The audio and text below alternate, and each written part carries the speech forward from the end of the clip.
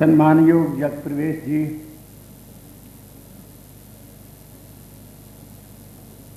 सम्मान योग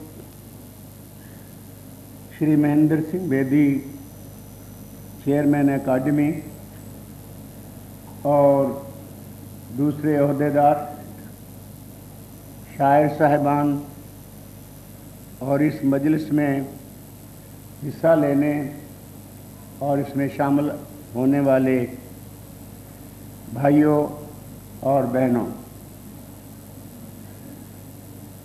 दिल्ली की उर्दू एकेडमी और पंजाबी एकेडमी कोई साढ़े तीन साल के करीब हुआ ये बनी थी।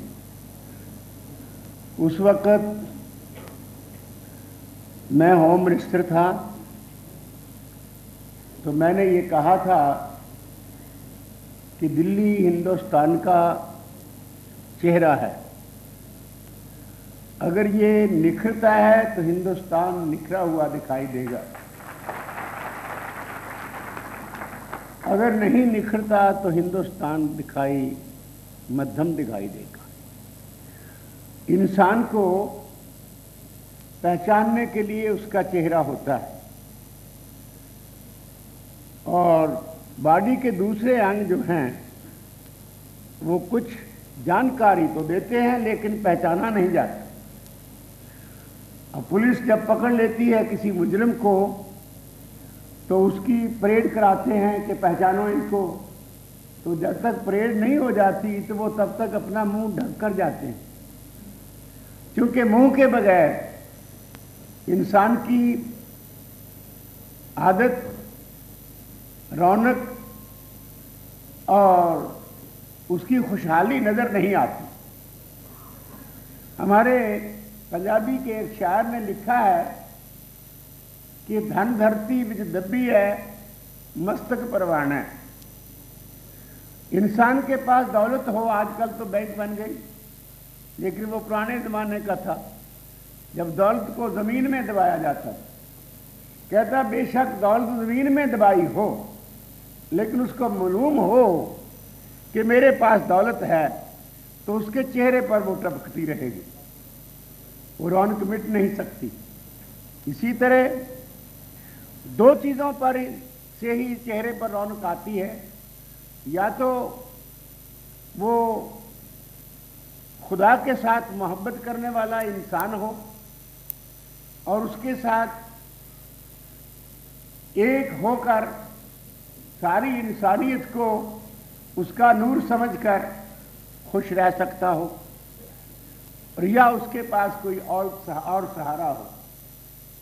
दुनियावी सहारे भी खुशी देते हैं, लेकिन वो अधूरी खुशी होती ज़बान दिल्ली में उर्दू, पंजाबी और हिंदी, तीन का होना तो बहुत ज़रूरी है।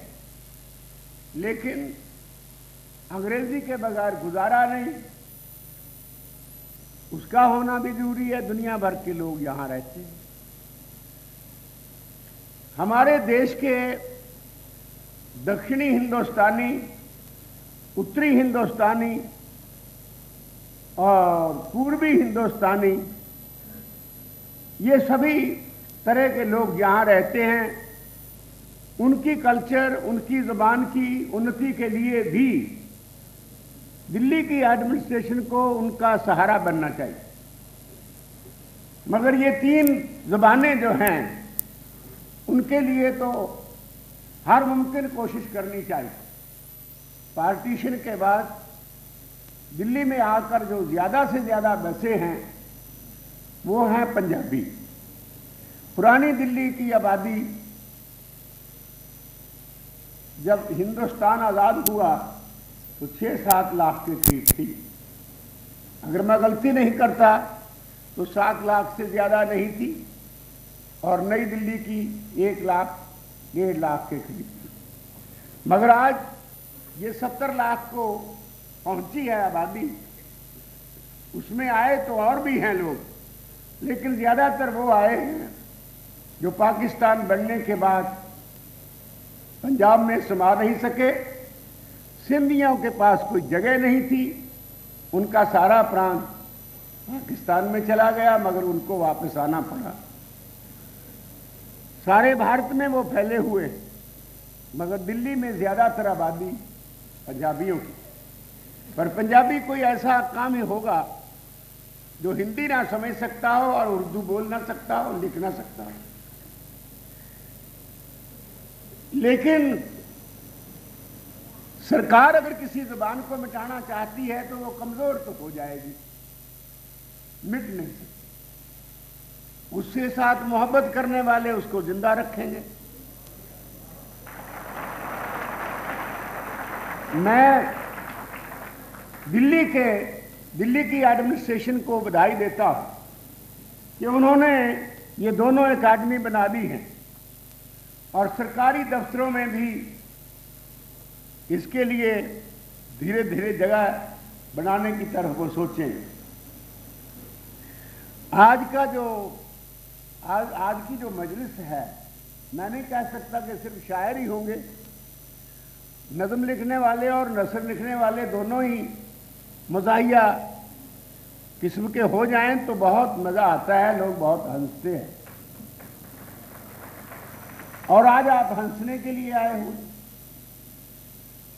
तो मैं आपको इस संजीदगी में लगाए रखूँ, ये अच्छा नहीं होगा। क्योंकि आठ पहरों में सिर्फ़ दो वक्त ही हंसो, मगर हर वक्त मुस्कुराना सीखो।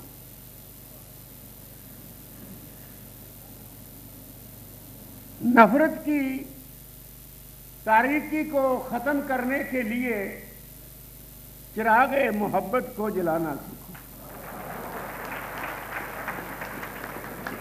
मैं इतने शब्दों के साथ इस मजलिस का आरंभ करता